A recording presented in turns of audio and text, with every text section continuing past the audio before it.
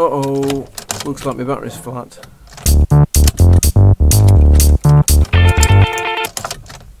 Yep, definitely flat.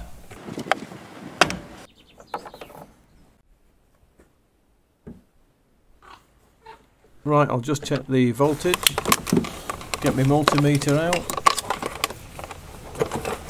put my positive lead on the positive terminal with the lead being red and positive marked on the battery. Set my meter to volts, connect to the negative black terminal and we're reading 10.1 volts. No wonder it won't start. So I'll have to get the battery charger out.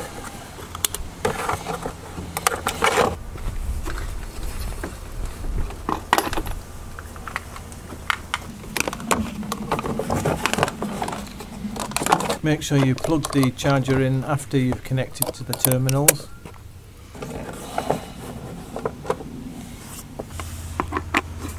In my case I've got a little switch on my extension lead which is quite handy.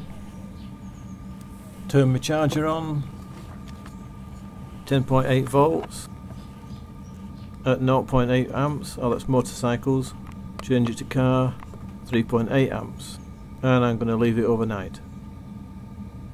Here we are back again in the morning, just connect my leads and we've got 12.55, just under 12.6 volts, which should be okay. I'll just start the car now.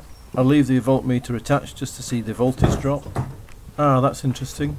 When I just open the door and put the safety lights on, the voltage drops. I'll just play that back again for you.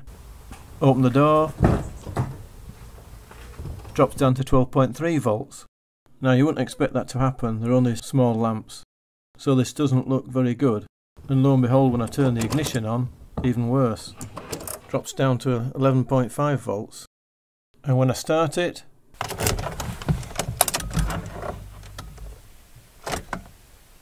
nothing. I'll show you that on the voltmeter. It actually drops down to 0.35 volts. I'll just show you that in slow motion. Ignition on. Start. There It's climbing back up now, 11.4, climbing very slowly. In a good battery you wouldn't expect the voltage to drop much at all, and anything below 9.6 volts is pretty terminal. But really anything below 12 volts shows that there's a sign that the battery is on its way out. So I'll just see what the voltage drop is when I turn the lights on.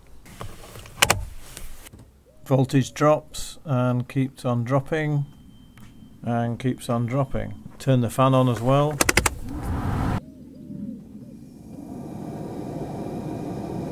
That brings it down even further and when I turn these off it should obviously climb back up to a reasonable voltage and it doesn't it's still under 12 volts one other thing that's worth checking is the connections to the battery itself and the earth lead to the body. Connections look okay on this and there's no corrosion. If there was you'd remove that first.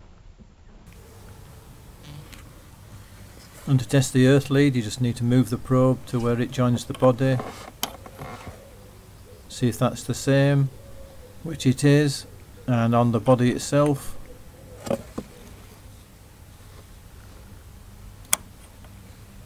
So that's okay. It's reading the same voltage which is obviously too low and it's pointless recharging it again. So in this case a new battery is in order.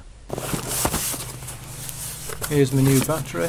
Nice to see it's insulated against the cold and wrapped in a plastic bag in case it leaks at all Comes with a warning notice, make sure you read that and wear eye protection at all times. Most of these batteries are, are sealed now so you shouldn't really get any problems with splashing sulfuric acid. Standard battery for this car gives out 680 CCA cold cranking amps with an output of 74 amp hours. But this upgraded battery, which I'd highly recommend, can give out 780 CCA and stores 77 amp hours.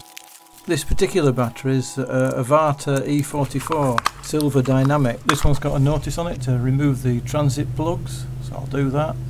Battery dimensions are 278 millimeters long by 175 millimeters wide and 190 millimeters in height and is a type 096. I'll leave all the details and a link in the description as these are very good batteries. Remove the little black plastic access panel at the side of the battery box that hides the securing bolt and bracket for the battery. Then I like to take the intake pipe off and the little vent bracket at the front which helps you lift the battery box cover away from the battery so you can get easier access. You don't have to do that but it's only a couple of minutes job and it makes it a lot easier.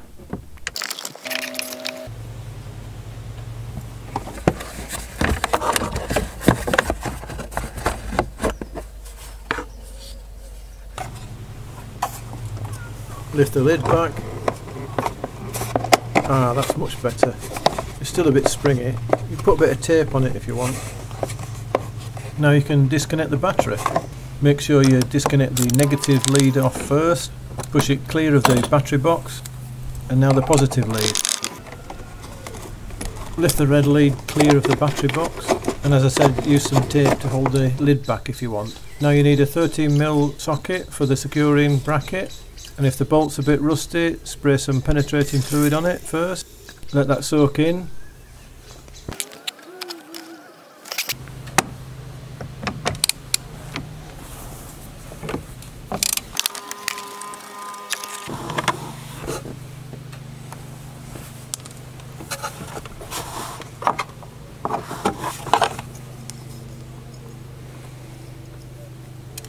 The bracket's got a little notch in as you can see which fits into the little slot on the foot of the protrusion on the bottom of the battery.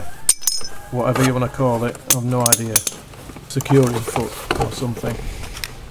All you've got to do is gently lift the battery out making sure it's horizontal until you lift it onto the floor. When you take it out there's a little insulating sleeve around it which will probably slip out at the same time don't dispense with that, you're going to fit it onto the new battery. The one I'm taking out is actually this upgraded battery, which has been in this car for over 10 years. I'm not sure how long over 10 years I've had it, as I don't have any receipts running back that far. But nevertheless, it's been a long time, and thoroughly worth it. Fit the insulating sleeve on,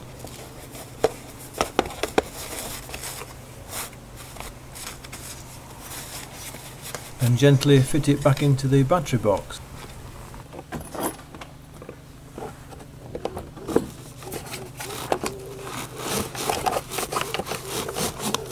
Jiggling it about at the same time, making sure the sleeve fits all the way around it down to the bottom.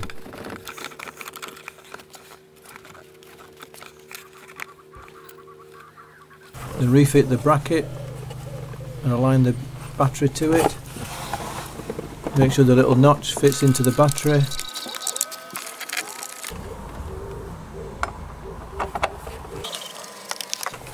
And tighten to the correct torque.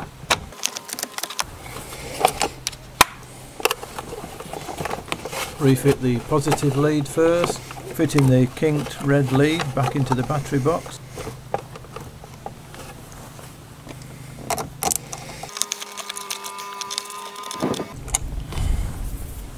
And the negative lead.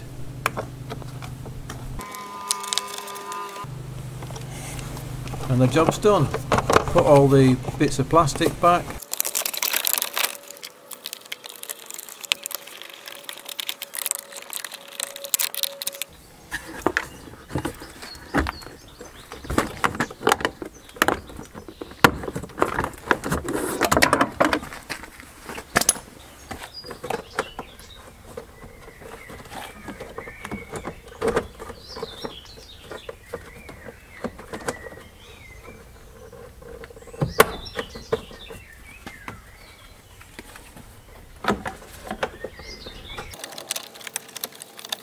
Make sure everything's clear of the engine. And I can start it.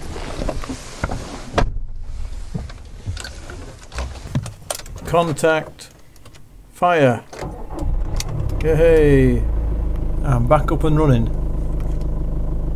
Hope this helped you out guys. I'll just uh, do a further test and see if the alternator's working.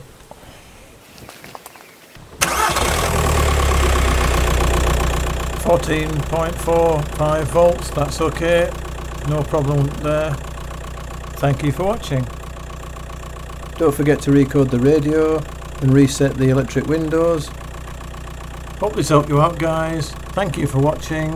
Please like, share and subscribe and I'll see you in the next video.